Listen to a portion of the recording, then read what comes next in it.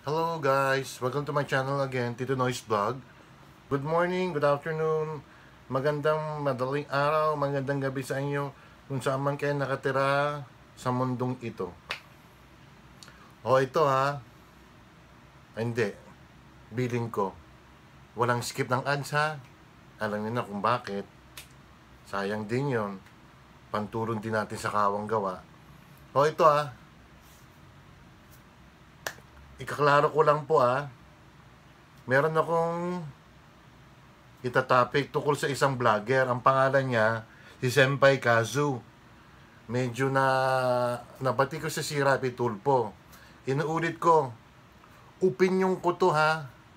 Ito ang take ko. Ito ang freedom of expression ko. Ito ang free speech ko. Kung ano yung nararamdaman ko. At sana naman, yung iba nagsasabi yan na mga fake, fake news ako, sinungaling ako. Opinion ko lang eh, bakit ako magsisinungaling? Oh, eh kung di nagsisinungaling ako, di, take nyo na yun, di ba? Ano lang to, observation lang to. Ito kasi, sinabi ni ano, ni Senpai Kasu, na nagagamit yung issue, yung tungkol doon kay Tekla nga.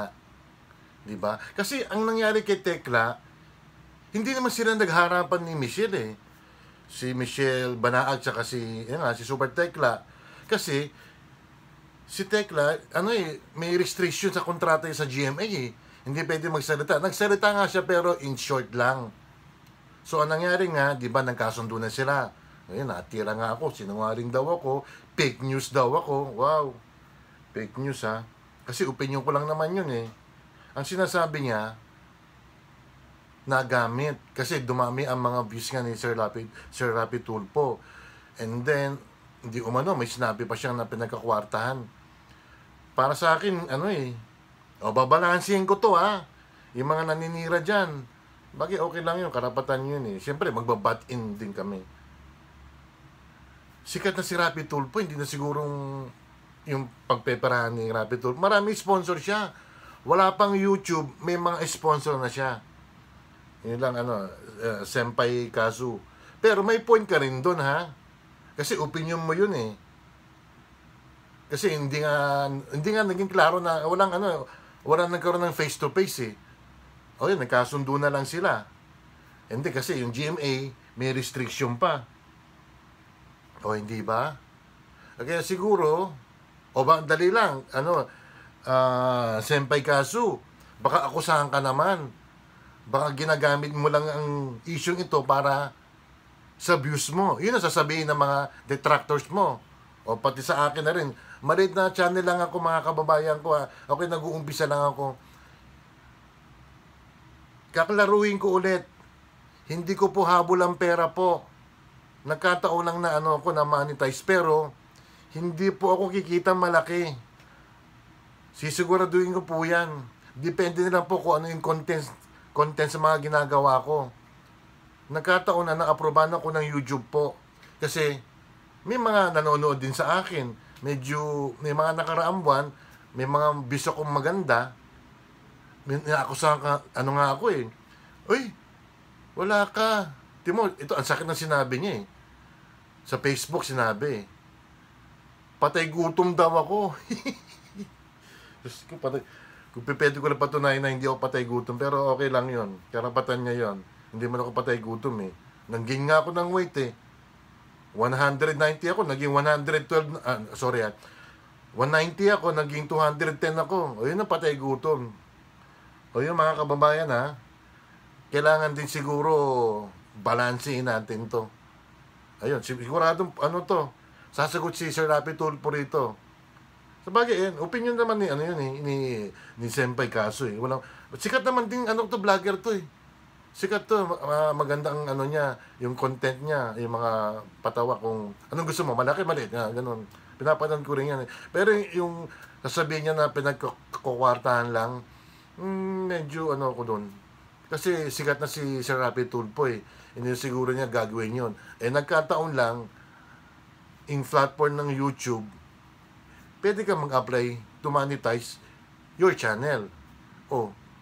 Kaya ang payo ko sa inyo, Yung mga nagdedet, yung mga nagbabatikos, bagay karapatan nyo yun, nagbabatikos. Pero may karapatan din kami na, excuse me, na sumagot din, di ba? In a nice way.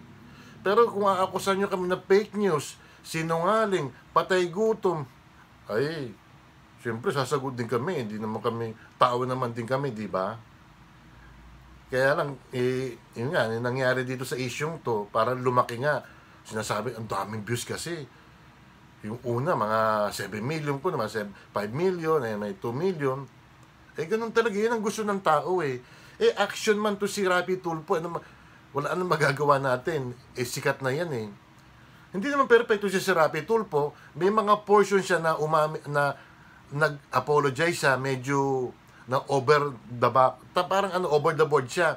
Panoorin niyo yung ibang ano, yung mga ibang mga video ni Sir Rapi Tulpo, may mga ano siya, may umamin din siya na medyo nagkamali siya.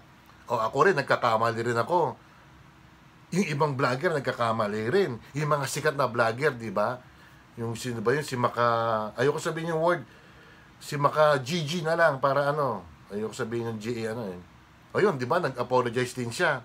O di, walang perfectong vlogger, pero pipilitin namin na maging maayos ang aming channel. Huwag lang kayong mag-aakusa ng patay gutom, fake news, sinungaling. Opinion namin to eh. Yun ang take namin. Yun ang obs- observation namin. Yun lang mga kababayan ko. Yung shout out. Ande, magsasorry na ako kay ano, kay DJ Charot. Ang nasabi ko, LJ Charot eh. At saka si, ayun lang muna ah. Again, walang skip ng ano ha. Walang skip ng ads ha. Mga kabayan ko ha, gusto ko lang tumulong sa ano kapwa-tao ko po. Maganda hangarin ko. Hindi ko hangad na lumaki ang kita namin, ang kita ko po. Diyos ko kung alam nyo lang ang ano ko rito, ang kita ko. Wala. Wala po. Meron naman po kami pinagkakitaan ni Mrs. po.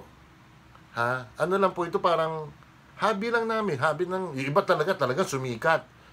O, si Ivana nga, tinan mo. Yan talaga mga artista, yun. talagang sisikat yan. Sila Alice Gonzaga, sila Michael B. Sino pa ba? O, basta maraming ano, mga sikat na mga maartista man o hindi. Kasi magaganda ang mga content nila. Eh sa amin naman siguro, sinu- sinusubukan namin na gumanda ang aming channel.